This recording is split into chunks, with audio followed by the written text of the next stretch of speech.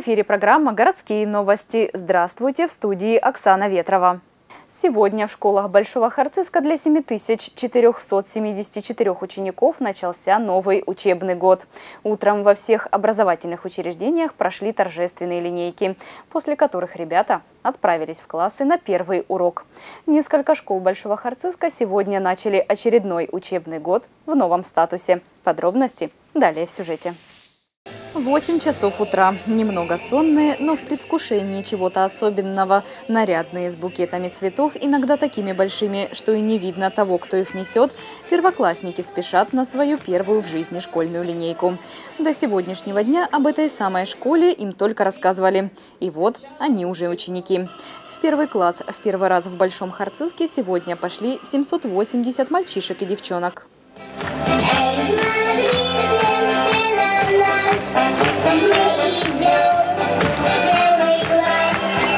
С начала нового учебного года 25-я школа вернулась к своему прежнему статусу – статусу лицея номер 25 «Интеллект».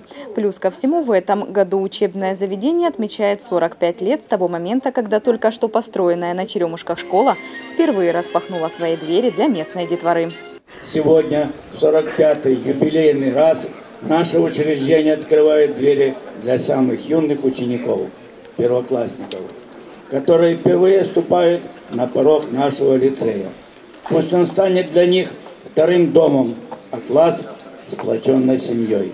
Особое внимание на торжественной линейке уделили, конечно, и одиннадцатиклассникам. Начало последнего года учебы в школе для учеников выпускных классов – весьма волнительное событие. Впереди сложный год. Год основательной подготовки к экзаменам, раздумий о продолжении учебы. В общем, ребят ожидают серьезные перемены в их жизни. В школе они уже вышли на финишную прямую, которая для первоклассников стала линией старта. Такая вот связь поколений, о которой взрослые говорили сегодня на торжественной линейке. После таких продолжительных каникул пожелать с новыми силами добиваться новых успехов.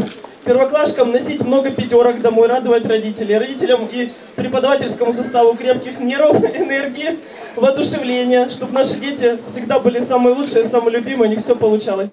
Без ложной скромности можно сказать, что 1 сентября – это праздник, который теплом ложится на сердце каждого гражданина нашей республики, каждого жителя нашего Харциска.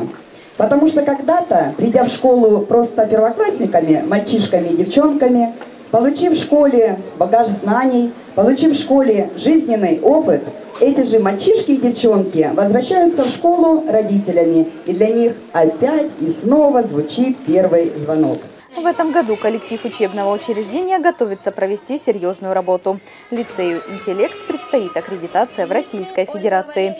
Директор Департамента просвещения Министерства образования и науки ДНР Виталий Пестрецов отметил, что все учреждения образования республики уже перешли на российские стандарты обучения. В этом году э, в э, плане на государственную э, аккредитацию в Российской Федерации у нас 9 общеобразовательных организаций, но и безусловно важно отметить, находясь в городе Харциске, э, что э, лицей номер 25 города Харциска э, среди этих девяти общеобразовательных организаций, которые планируют пройти и готовят всю необходимую документацию, проводят необходимую большую, серьезную, но такую важную работу по прохождению аккредитации образовательной деятельности в Российской Федерации.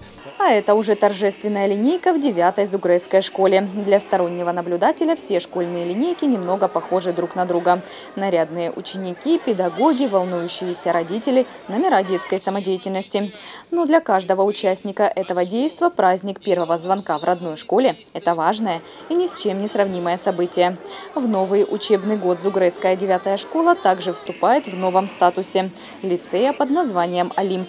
Так что сегодняшний праздник и для педколлектива, и для новоиспеченных лицеистов можно назвать двойным. 1 сентября – особенный день в каждой семье. А для нас сегодня он, особ... он необычен вдвойне. Профессиональные достижения наших педагогов, успехи учащихся в разных сферах жизнедеятельности привели наше учреждение на новый уровень образования – И сегодня в присутствии почетных гостей мы отмечаем еще и день рождения лицея. Я поздравляю вас с этим важным событием в истории нашего учреждения. Дорогие ребята, теперь вас лицеистами зовут, а это старт в борьбе за новые успехи, новые достижения, отличные оценки – Выслушав напутствие взрослых, ребята отправились в классы на первый в новом учебном году урок. Летние каникулы остались позади. Впереди очередной поход за знаниями, процесс получения которых многие считают занятием весьма увлекательным и крайне полезным. И в продолжение темы начала учебного года. Чтобы образовательный процесс проходил без оглядки на коммунальные проблемы, в период летних каникул во всех учебных учреждениях проводились текущие, а в некоторых и капитальные ремонты. Как обычно, в середине августа специальная комиссия проверила готовность всех 20 школ Большого Харциска к новому учебному году. Итог таков. Все проверенные школы и лицеи готовы к работе. Городской комиссией осмотрены классы, мастерские, э, спортивные залы. Э, хотелось бы отметить, что за этот летний период закончены работы по ремонту шиферной кровли в школах 24, 25, 26, а также выполнены текущие ремонты во второй, в пятой, в 16, ой, извините, в шестой, 19 школе. Это ремонты санузлов, также идет к завершению ремонт мягкой кровли э, в школе 5, 22, 25. В ЦДЮ шиферная кровля э, заменяется. И к 1 сентября классы, школы, сады, ну сады у нас не закрывались, школы ждут наших э, учеников –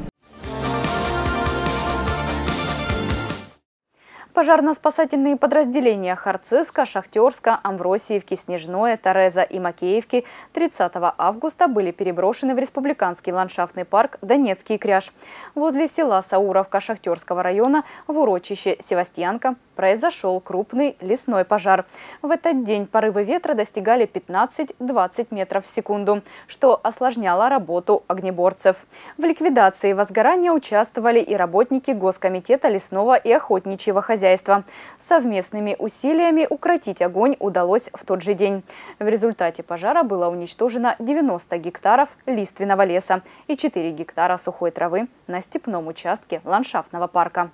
В Харциске распоряжением главы администрации особый противопожарный режим был введен 19 июля. И отменять ограничения еще рано, настаивают сотрудники МЧС. С начала года на территории Большого Харциска было зафиксировано 144 пожара. 56 из них – возгорание на открытых площадях. В течение августа роста допущено не было, э, благодаря комплексу мероприятий, которые мы прописали в плане по предупреждению пожаров в период особого противопожарного режима. Нарушителей особого противопожарного режима сотрудники МЧС выявляют в ходе регулярных рейдов. Один из таких был проведен в минувшие выходные. В зонах отдыха «Речная водослив» в поселке Зуевка совместно с лесхозом и администрацией ЛРП «Зуевский» значит, выявлен факт категорического несоблюдения плана мероприятий. Было составлено два административных протокола на граждан о, э, по факту допущения разведения костров в лесу. О том, как выполняется комплексный план мероприятий по предупреждению пожаров в Харциске, на последнем аппаратном совещании сообщил специалист сектора по вопросам гражданской обороны и чрезвычайных ситуаций администрации. Главный государственный инспектор пожарно-спасательного отряда Харциска попросила местные местные власти обратить внимание на заброшенные сооружения, особенно на здание бывшего вычислительного центра, что на улице Адамца, и детского сада «Катюша» в микрорайоне Юбилейном. Там регулярно возникают пожары. Анастасия Яковлева отметила недоработки и Макеевского лесхоза. На сегодняшний день у нас минерализованных полос создано ноль по отчетным данным, которые предоставляются лесходам. Планируют почему-то в октябре по непонятным причинам. Вот. И дабы не допустить подобной ситуации, да, конечно, ожидается прогнозируемое немножко понижение температуры и небольшие дожди, но тем не менее еще сентябрь впереди, как показывает практика, это достаточно сухой пожароопасный период и плюс ветреная погода могут сыграть злую шутку. Чтобы на территории Большого Харциска не повторилась история с крупным лесным пожаром, который случился 30 августа в Сауровке, МЧС призывает граждан относиться к правилам противопожарной безопасности не как к формальным рекомендациям. Эти правила проверены многолетней практикой и направлены на реальную защиту людей и окружающей среды от огня. Харцизская команда знатоков, возглавляемая учителем информатики первой школы Станиславом Дятловым, стала победителем летней серии игр «Что, где, когда» республиканского чемпионата Лига Ворошилов и таким образом завоевала путевку в финал года. В летней серии «Что, где, когда» республиканского чемпионата знатоки Дятлова выиграли у клуба со счетом 6-4. Соперники харцизян, три донецкие команды, показали более скромный результат – Постоянные телезрители наверняка заметили, что игра сменила прописку. Пять лет подряд республиканский чемпионат проходил в Харциске на базе городского дворца культуры. Но в этом году турнир перебрался в столицу ДНР. В воскресенье здесь вне конкурса играла команда первого республиканского телеканала. Здесь же чествовали победителей летней серии игр. Победители нынешней летней серии игр – это команда Станислава Дятлова.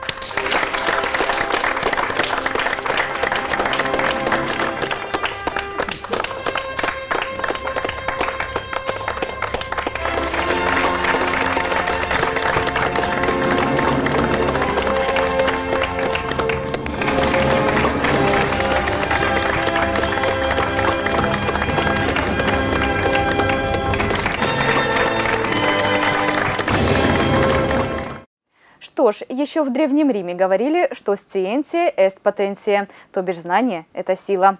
Это выражение можно интерпретировать так. Знание – это единственная подлинная сила, так как буквально все в мире достигается с его помощью.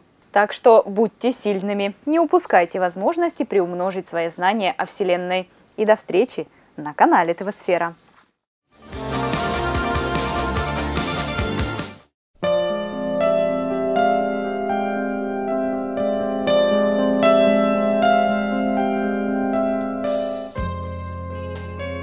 2 сентября 1906 года родился Александр Петрович Казанцев.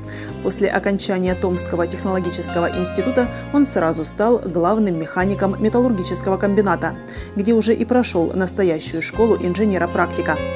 Позже, когда Казанцев стал писать фантастику, он придерживался строгой научности в своих описаниях светлого будущего. Правда, это не помешало Александру Петровичу живо интересоваться неопознанными летающими объектами, как посланниками инопланетных цивилизаций. Считается, что термин «инопланетянин» ввел в русский язык как раз Казанцев. Правда, в произведениях известного фантаста покорение природы ложится не на хрупкие плечи зеленых человечков, а на несгибаемых советских людей, руководимых мудрой компартией. Им все по плечу, даже постройка грандиозной плотины в Арктике, позволяющей очистить океан от льда. Но, как показала реальная жизнь, Северный Ледовитый океан даже с уменьшенным количеством льда остается кухней погоды, дыхание которой в нашем регионе мы почувствуем уже 2 сентября. Днем переменная облачность, временами осадки, температура воздуха около 23 градусов, юго-западный ветер 5-8 метров в секунду. Ночью облачно, временами дождь, температура воздуха 10 градусов, умеренный северо-западный ветер.